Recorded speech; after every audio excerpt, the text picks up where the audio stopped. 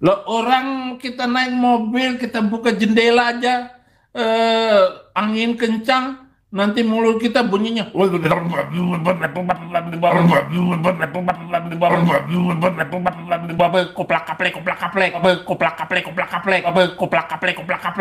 mulut kita yang rusak mulut kita yang rusak jangan masuk Kristen karena di dalam Kristen aja banyak manusia jahat Ashadu Asadu ala Allah ilaha ilaha illallah illallah wa ashadu wa ashadu anna anna Muhammadar Muhammadan Rasulullah. Rasulullah. Saya bersaksi Saya bersaksi bahwa bahwa tidak ada Tuhan tiada Tuhan yang berhak disembah yang berhak disembah selain Allah selain Allah dan saya bersaksi dan saya bersaksi bahwa Nabi Muhammad bahwa Nabi Muhammad adalah utusan Allah. adalah utusan Allah Adalah utusan Allah. adalah utusan Allah.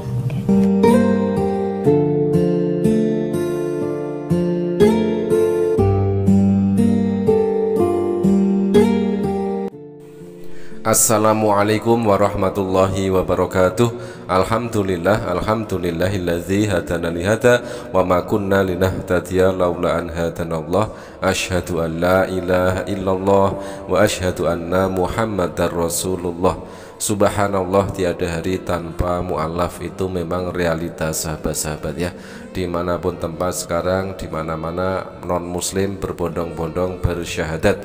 Sehingga tidak ada ruang lagi bagi Saifuddin Ibrahim untuk menginjili umat Islam. Sedangkan dari pihak non muslim yang kritis dan logis saja bersyahadat Saifuddin Ibrahim seharusnya memang harus benar-benar buka mata, buka telinga melihat realita yang ada. Banyak sekali dari jemaat-jemaat Kristen di Indonesia berbondong-bondong bersyahadat. Oke sahabat mari kita tampilkan sejenak cuplikan video lawakan dari Saifuddin Ibrahim yang mudah-mudahan mampu menghibur kita. Oke mari kita simak videonya Lo orang kita naik mobil, kita buka jendela aja, eh, angin kencang, nanti mulut kita bunyinya.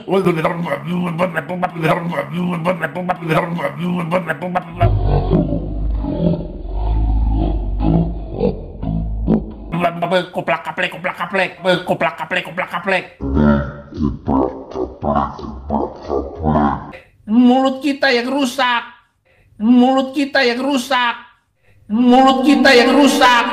Jangan masuk Kristen karena di dalam Kristen aja banyak manusia jahat. Din kamu kenapa Din koplak kaplek koplak kaplek Brrr. koplak kaplek koplak kaplek mulutmu rusak rusak memang dari dulu rusak Din sehingga rusak-rusak-rusaknya mulutmu tetap saja kau ingat pesanmu yang viral itu. Jangan masuk Kristen karena di dalam Kristen banyak manusia jahat. Itulah din akibat daripada koplak kaplek koplak kaplek mulut rusak ya. Makanya jangan heran jika uh, memang realita yang ada di Indonesia banyak din dari jemaat-jemaatmu itu masuk Islam mereka sudah ogah mengikuti uh, semua ocehanmu itu din. Keluar-keluarmu nggak ada gunanya. Keluar-keluarmu hanya hiburan bagi kita umat Islam ya. Mampu untuk menghibur din apalagi di saat-saat seperti ini ngabuburit ya menunggu saat berbuka puasa menunggu azan maghrib. Ini cocok sekali din mendengarkan lawakan banyolan dan koplak kaplek koplak kaplek mulut rusak mudin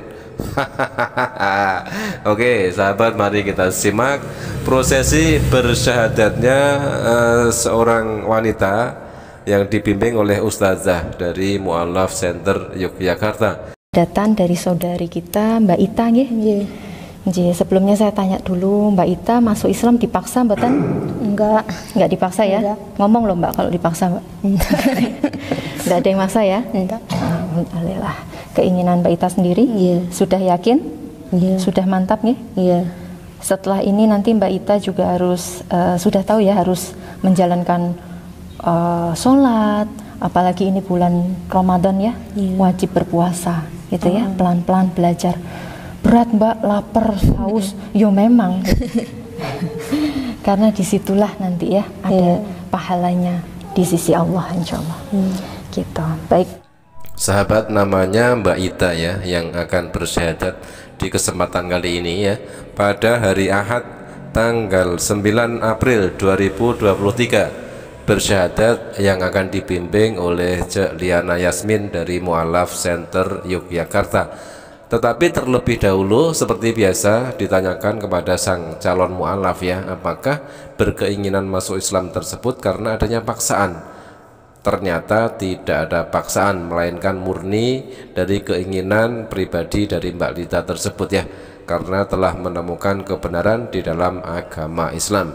Dan di situ juga di- dijelaskan konsekuensinya setelah masuk Islam maka harus konsekuen dengan menjalankan dan mengamalkan syariat-syariat yang ada di dalam ajaran agama Islam. Semisal sholat, puasa, zakat, amal soleh, sodakoh jariah dan lain sebagainya. Dan itu memang sudah menjadi kewajiban bagi umat Islam ya. Sesungguhnya Sesungguhnya. Dibaca agama di sisi Allah, Allah. hanyalah Allah. Allah. Allah hanyalah Islam. Yang bertanda tangan di bawah ini? Yang bertanda tangan di bawah ini saya It- nama Ita 3 Januari 1097 Sahabat, sekilas surat pernyataan sudah dibacakan oleh saudari kita Mbak Ita ya. Di situ dia menyatakan bahwasanya innadina indallahil Islam sesungguhnya agama yang diridhoi oleh Allah Subhanahu wa taala adalah agama Islam ya. Dan di situ masih kagok, masih grogi ketika menyebut nama Allah ya. Mbak Ita menyebutnya mungkin di ajaran agamanya yang lama Allah gitu ya tetapi diralat dan dikoreksi oleh Cek Liana Yasmin dengan menyebut nama Allah Allah subhanahu wa ta'ala Oke sahabat selanjutnya mari kita simak prosesi bersyahadatnya saudari Ita yang dibimbing oleh Cek Liana Yasmin dari Mualaf Center Yogyakarta. Lihat saya mbak. Lihat saya mbak. Bismillahirrahmanirrahim lihat saya. Bismillahirrahmanirrahim Ashadu Asadu ala Allah ilaha ilaha illallah illallah. wa ashadu wa ashadu anna anna Muhammadar. Muhammadan Rasulullah. Rasulullah. Saifuddin Ibrahim lihatlah ya para umat Kristen. Mereka masuk Islam setiap hari. Lihatlah ini din. Ashhadu alla ilaha illallah wa ashhadu anna Muhammadar Rasulullah. Mereka bersyahadat din setiap hari din jangan lantas koplak kaplek koplak kaplek gombal gambul gombal gambul Justru itu menghibur kita semua, Din. Nggak ada ilmu yang kau keluar-keluarkan ya. Selama ini hanyalah penistaan sehingga membuat jemaatmu masuk Islam. saya bersaksi saya bersaksi bahwa bahwa tidak ada Tuhan tiada Tuhan yang berhak disembah yang berhak disembah selain Allah. selain Allah. Dan saya bersaksi dan saya bersaksi bahwa Nabi Muhammad bahwa Nabi Muhammad adalah utusan Allah. adalah utusan Allah. Adalah utusan Allah. Adalah utusan Allah. Subhanallah walhamdulillah wa la ilaha illallah. Wallahu akbar. Sahabat, Mbak Ita ini masuk Islam atas keinginan pribadinya ya, tanpa ada paksaan dari siapa pun. La ikroha fitin, tidak ada paksaan di dalam agama Islam. Mbak Ita baru saja eh, mengikrarkan diri membacakan dua kalimat syahadat. Mari kita doakan untuk Mbak Ita ini mudah-mudahan istiqomah di dalam iman dan Islam, semakin semangat belajar tentang agama Islam dan istiqomah juga di dalam menjalankan syariat-syariat agama Islam. Dan doa kita tidak lupa kita panjatkan kepada Allah Subhanahu wa taala kepada saudara-saudari kita non-muslim yang kritis dan logis. Mudah-mudahan dengan melihat prosesi bersyahadat setiap hari Seperti ini bisa menginspirasi dan memotivasi mereka agar secepatnya mendapatkan hidayah dan menemukan kebenaran di dalam agama Islam. Inna dina indallahil Islam. Sesungguhnya agama yang diridhoi oleh Allah Subhanahu wa taala adalah agama Islam. Oke sahabat, biarkanlah saya Budin Ibrahim terus ngibul, terus ngelantur, terus koplak kaplek koplak kaplek, kumbal gambul kumbal gambul. Sementara di sisi lain, jemaatnya satu persatu meninggalkan gereja dan berbondong-bondong bersyahadat. Terima kasih, mudah-mudahan bermanfaat. Jazakumullah khairan kasiron.